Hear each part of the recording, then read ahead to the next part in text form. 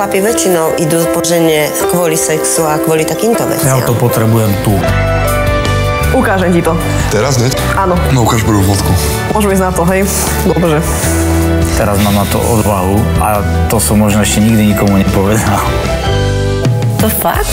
Áno. Super! Láska na chate. Dnes o 21.40 na Jojke.